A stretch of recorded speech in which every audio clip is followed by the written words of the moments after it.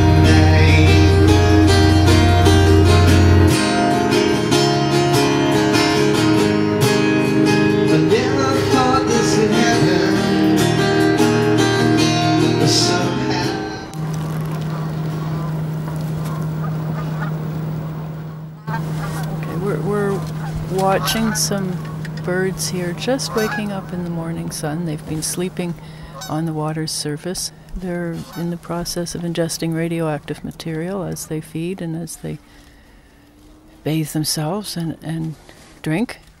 And they will be carrying that material to the southern reaches of the continent as they go south for the winter.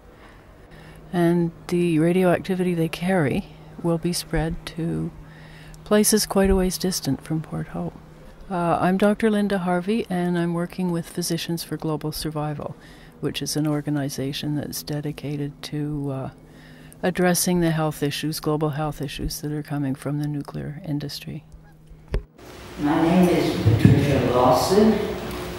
Uh, perhaps some of the newer members on the commission do not know that I was appointed by the town of Port Hope as the first chair of the Environmental Advisory Committee.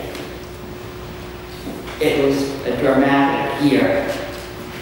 It was the year that the East UF6 plant burst into flames. It's a criminal shame because it's going into Lake Ontario and uh, is taken up by the biota there. That, uh, we don't know. There's a lot that's a mystery. But what we do know is this plant has got to move out of here, and the sooner the better. Okay, thank you. Thank you. Um, Michelle Ray.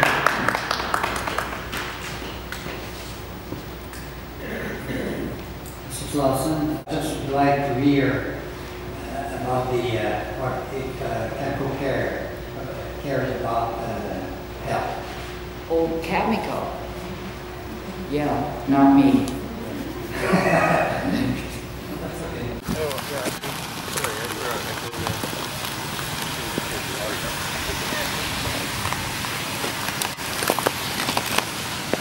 Howdy.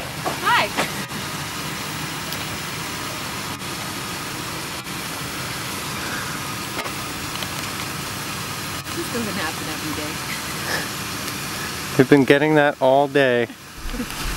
Have you been around here all day? Uh, all over.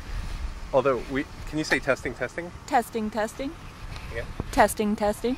Yeah. Um it's a uh it's a bit of an icebreaker. yeah. I like Um, it. We're actually doing an in, uh, a documentary on the Cameco hearings right now. Oh, interesting.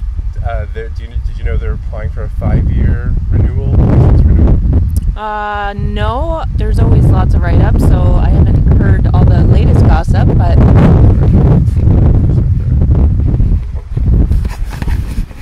Um, and uh, do you do you feel that uh, low levels of radiation are safe? I'm still deciding. Still deciding. So, do you know what the Vision 2010 project is? Um, they're trying to move the radioactive material. The, from from the harbor. Yeah, from one site to another, I guess. And um, are you concerned that it's going to get airborne and into your lungs? Been looking into that a little more, so yeah, a little worried. And do you have kids? Yes, I do. Uh, what ages? I've got a five year old and a nine year old. My most of my family lives up on the street right across from Cameco and, And- has their whole lives. And uh, no health problems in your family? A lot of health problems. Like what? My mother's actually terminally ill with cancer right now. Um, my grandfather died just three years ago. My aunt has skin cancer, who's lived up here her whole life. The family's got a lot of diabetes, a lot of health problems. I have MS myself. So, have you um, ever thought there might be a relationship to the living across from Cameco? Uh, we we've thought about it. Never, never come to a a complete answer on that though. Um, and uh, how do you think you could find an answer? Uh, I think all of Port Hope is still wondering that. Yeah. Um, and what do your doctors say? Our doctors say that there's really no link. That our our cancer rates are the same here as anywhere else. Do you believe them? Um, I don't know yet. I, I still don't feel educated enough to make assumptions. Yeah. And um, do you find that there's that? What did that the kid say? That you know you'll be kind of ostracized if you speak up against Cameco in the city. Oh, definitely. I think there's people that feel that way. I that think way? I think that money can uh, can hide you. I think that people that don't have money, they might be a little scared to speak out. Okay. Thank you. Um,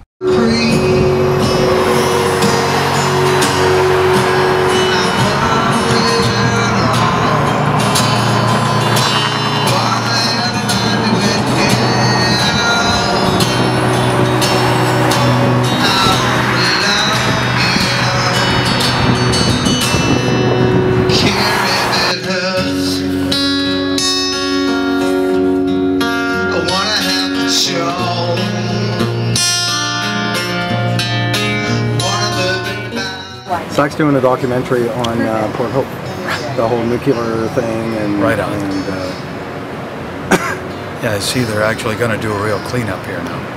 Something they like keep that. talking about it. Yeah. But the federal government's said something now too, actually. Well, have, have they they? not? I think so. I hope they're going to reimburse us for any um, Sure, like my hair loss and all that. you for mean? your hair loss Sure. and, and my eventual hair loss, and the fact that my house is probably going to is actually since I bought it two years ago, I'm pretty haven't- it's I've- dropped in price. Since I've frequented Port Hope more often, I'm getting like less and less hard on. I don't know if, you know. I don't think this is age this a family time uh, documentary that you're doing, Zach? Oh, This is this is like weapons of mass destruction. If Weapons you call that, mass- yeah. Okay, so uh, so you're recording this. Oh shit, man! I should have recognized that thing. God Almighty! no, I told you he's doing yes, a documentary. Yes. I didn't. I thought that was like a light meter. I, I know what it is now. For Christ's sake. Uh, you're you're regretting that hard on Yes. compliment. Yeah, exactly. Yeah. Yeah. yeah. I should have said I'm I'm drooling more often than I used to.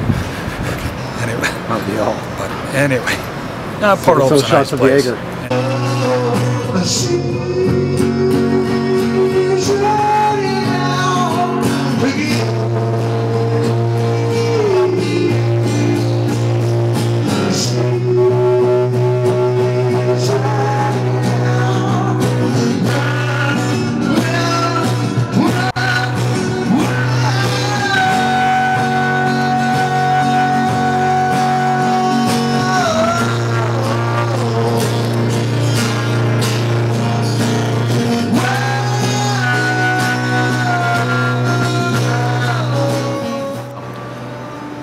40, 50 years ago somewhere that a subdivision's been built on, a high school's been built on, who knows, an arena.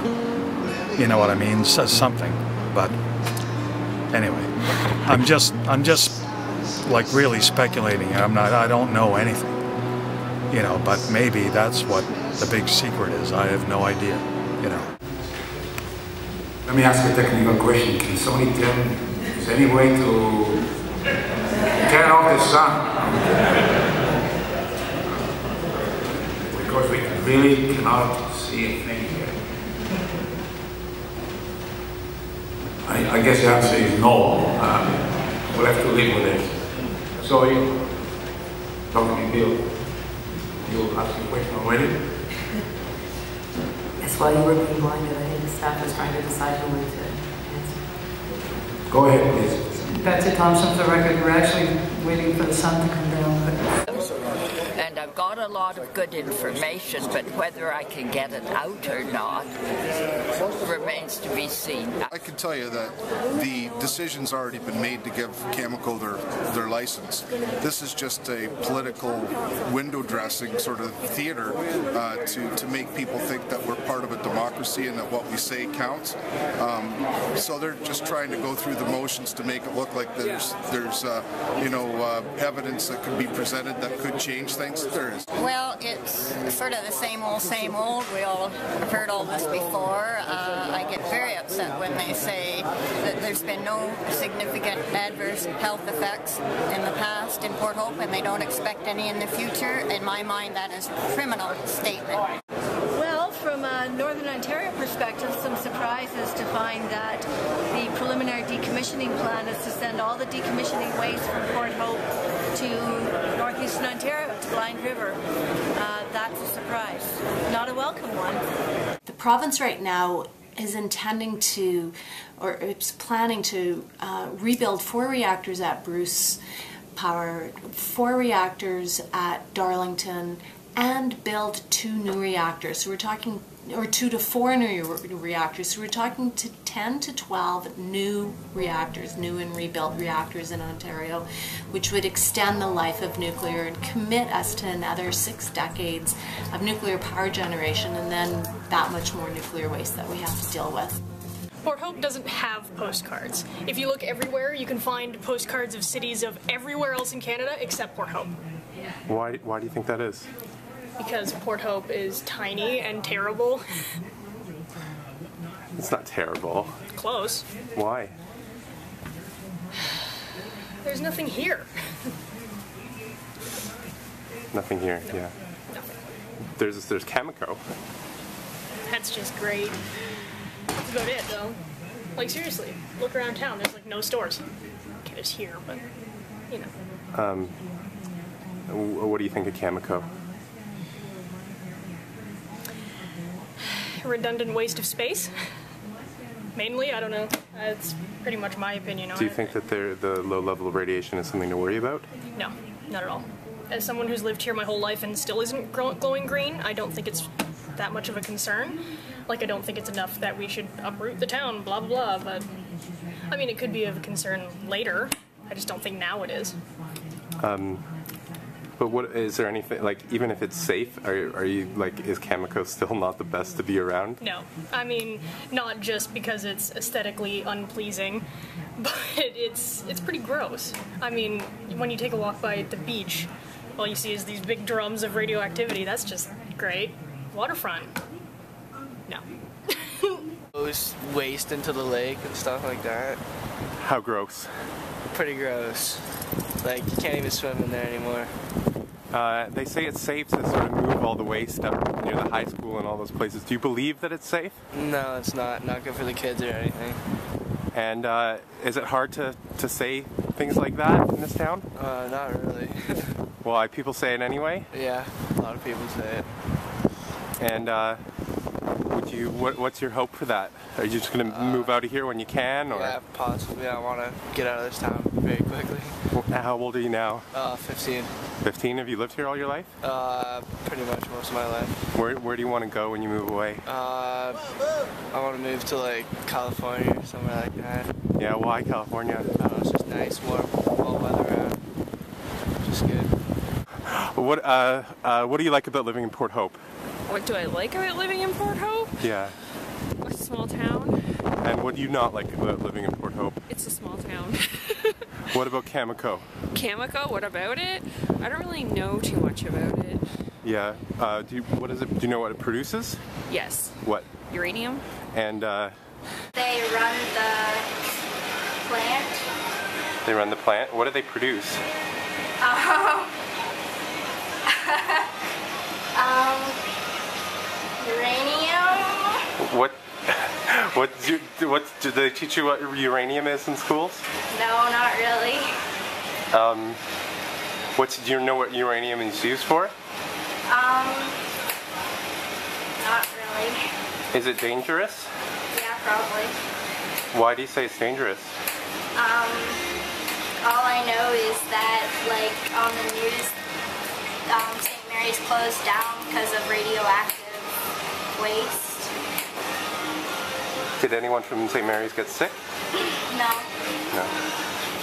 Okay, thank you. Thanks very much.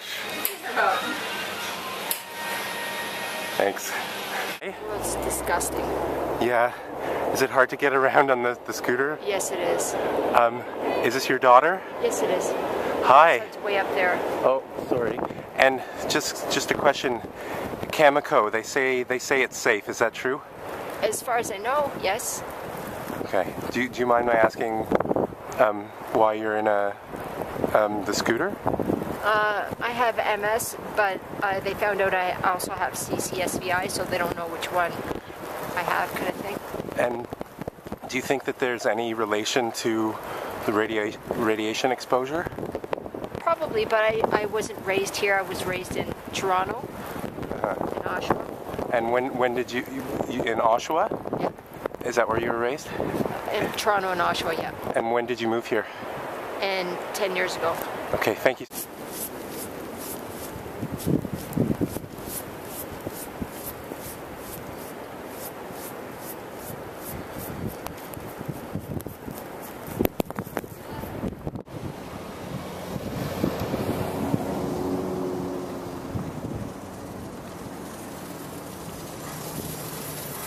Your friend's waiting for you down there. So the hearings, did they? No, it went exactly as I figured it would go. I can't see anything exciting about it. It just was what normally is. So anyway, we got. Was go. it was was it uh was it um was it emotional? No, just right on. Nothing, nothing to get me emotional. It was dead on what I expected. Take care.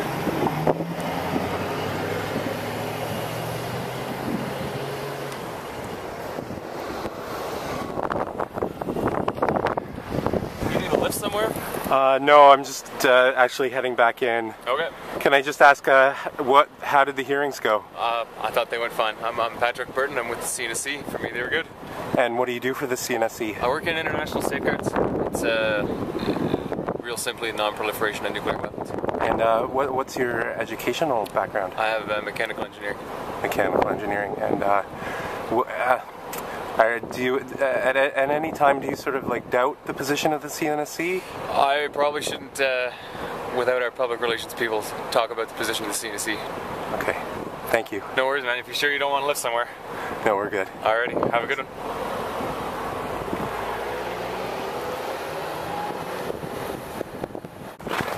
One question. One one question, Mr. Binder. One question. One question.